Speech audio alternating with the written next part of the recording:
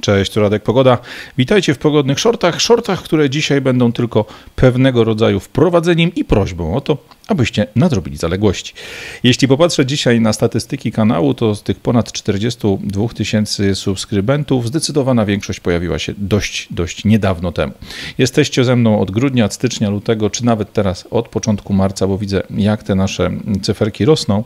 Natomiast będziemy w następnym filmie mówili o sytuacji, która swój początek miała dawno, dawno temu, w czasach, kiedy jeszcze kanał Radka Pogody nie miał takiej popularności, jak ma dzisiaj, za którą Wam oczywiście szczerze dziękuję.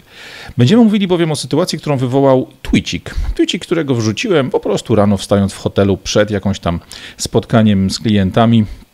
Tweet dotyczący pogody, niewinny, delikatny, choć oczywiście, jak to u mnie, kąśliwy i odnoszący się do mojego ulubionego zakonu na świecie, czyli zakonu braci klimatystów. Jeżeli chcecie następny film, który będzie na kanale w, w ciągu jutrzejszego dnia dostępny, lepiej zrozumieć, lepiej się do niego odnieść, to mam do Was prośbę. To, co zobaczycie za chwilę, to czterominutowy fragment filmu nagranego właśnie dawno, dawno temu, który jest dostępny tu na kanale bezproblemowo. Filmu, który opowiada o tym, jak moim zdaniem, według mojego spojrzenia, według mojego sposobu myślenia, manipulowane są kolory na mapach pogody publikowanych nam w telewizji, publikowanych nam w portalach internetowych, czy nawet tutaj na Twitterze przez kilka wybranych, bardzo mocno się tym zajmujących profili. Jeśli mogę Was o coś prosić, to znajdźcie chwilę, żeby obejrzeć cały ten film, którego link znajdziecie w opisie, tak abyśmy mogli lepiej jutrzejsze nasze rozważania na temat tego, jak działa gang klimatystów opracować. Jak widzicie po cyferkach, ten tweet zrobił ponad 105 tysięcy wyświetleń w czasie powiedzmy 12 godzin, od 8 z minutami rano do 8, niepełnej 8 wieczorem. Myślę, że taka gównoburza, myślę, że taka jazda bez trzymanki doskonale pokazuje, że temat klimatu tak samo mocno może nas dzielić, tak samo mocno nadaje się do tego, aby bujać nastrojami jak każdy inny. Dlatego zapraszając Was na film, który będzie jutro na kanale, Chciałbym, żebyście zerknęli na ten, który ma już pewną historię, który ma już pewną brodę. Dziękuję Wam bardzo i zapraszam na te 4 minuty wprowadzenia, a zaraz później po kliknięciu w link, który będziecie mieli w opisie na obejrzenie całego materiału archiwalnego. Materiału, który ma już swoje lata, ale cały czas się broni, bo te zmiany w kolorach map nadal wszędzie widzimy. Zapraszam. Natomiast mapa Polski i mapa Niemiec przedstawiona jest w dwóch zupełnie innych ujęciach. Polska w sposób tradycyjny, gdzie mamy pokazany kraj, pokazane um, podziały województw, główne miejscowości. Przy tych miejscowościach mamy po prostu informację, że w Warszawie jest 30 stopni, lekkie zachmurzenie, w Łodzi 31 z lekkim zachmurzeniem, w Poznaniu pełna lampa i 33, we Wrocławiu jeszcze gorzej 34 i pełne słońce.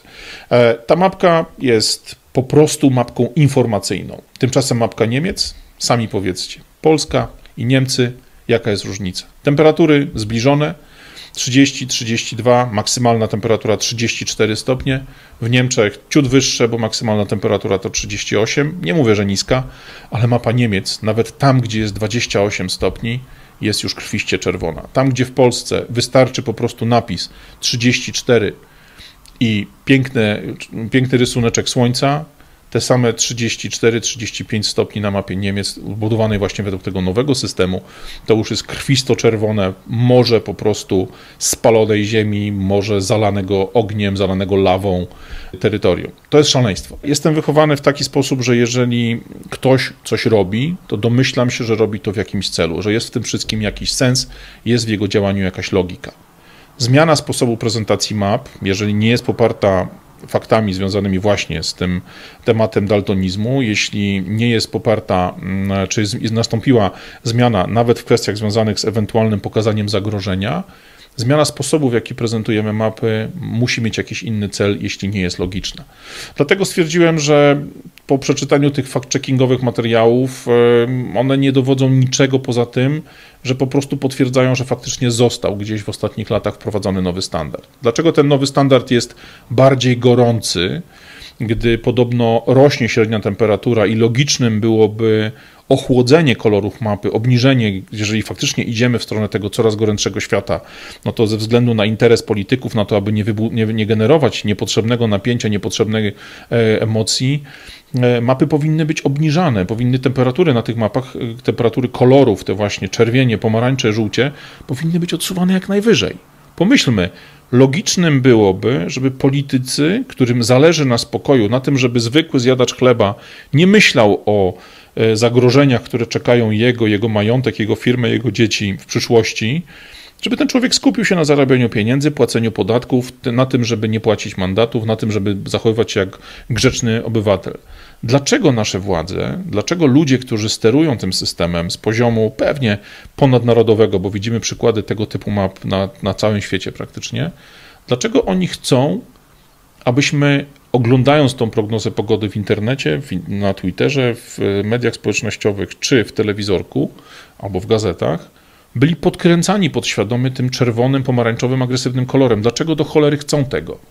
Dlaczego dzieje się tak wiele drobnych zdarzeń, tak wiele drobnych rzeczy, które nie mają żadnego innego sensu niż ten, żeby wpływać na nas, żeby budować naszej podświadomości zaburzony w dużym stopniu obraz rzeczywistości. Mapa Szwecji 20-21 stopni zaznaczone na czerwono, Kiedyś 25-stopniowe temperatury na terenie Szwecji, 26, były po prostu naniesione na zieloną mapkę pokazującą kształt tego fragmentu kontynentu, do tego symbole słoneczka, do tego symbole zachmurzenia, jakichś opadów i tak dalej i wszystko było ok. Dziś 16-17 stopni to ostry pomarańcz, 22, 23 stopnie to głęboka czerwień i tak dalej. Komu to służy? Czemu to służy? Po co to robią?